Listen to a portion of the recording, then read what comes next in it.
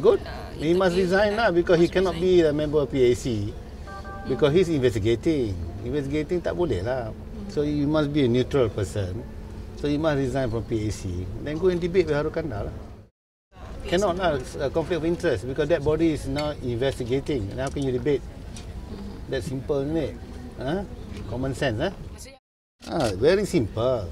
He must get out from PAC, then debate lah. Because PAC is investigating. How can you you debate when you're still a member?